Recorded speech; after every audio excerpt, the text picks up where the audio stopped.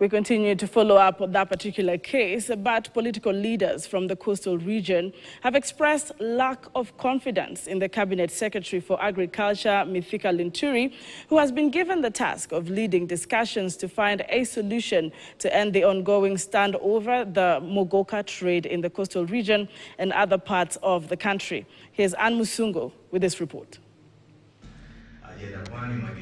Led by Gertrude Mbeyu, the woman representative Kilifi County, these leaders point out that they will only participate in discussions led by President William Ruto.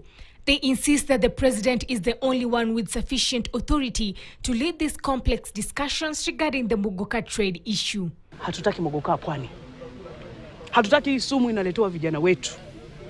Sisi twalipa bursaries. Rais hii asikie, hii pesa ni ya serikali, tuenda kuwalipia kina nani? Kama watoto wetu watakuwa wamekuwa mazombi, wako kwenye vibaraza vi, vi vibaraza, hawafikiri vizuri. The chairperson of the Coastal Parliamentarian Association, Danson Washako, and Kilifi North MP Owen Baya have insisted that Muguka trade will not continue in coastal region. Bado limegonga vichwa vya habari ni swala la mogoka ambao tunajua ni sumu ambayo ina, inamaliza vijana wetu, inamaliza wasichana wetu, inamaliza watu wetu wa pwani.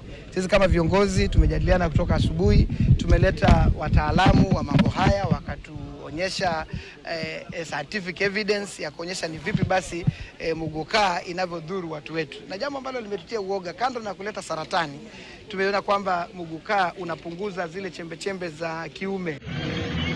Elsewhere, religious leaders in Kwale County have criticized Governor Fatuma Achani for failing to ban the use of mogoka despite existing national laws. They have also opposed the proposal to increase taxes on mogoka transportation, saying it will promote the business. Katika maneno yake tumenukuu kwamba anasema kwamba anaogopa sheria isiye ikamchukua ikampeleka vibaya, lakini tunasema sheria hupangwa na ikiwa wameruhusu kwamba ni cash crop, lakini imethubutu kwamba ni uzao ambao kwamba una madhara, sheria yaweza ikakaliwa kwenye bunge na ikabadilishwa na isifanye kazi. Speaking in Mombasa County, Ogunja MP Opio Wandai also supports coastal leaders in the ban of the use of Mira and Muguka in the region. We associate ourselves fully with the position taken by the leadership of the coast region in saying no to the sale and consumption of muguka in the coast.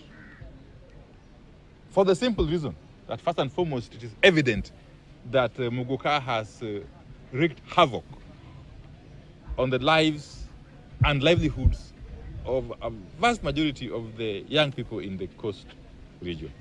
And Musungu KTN News, Nairobi. Well, shifting focus, seven more bodies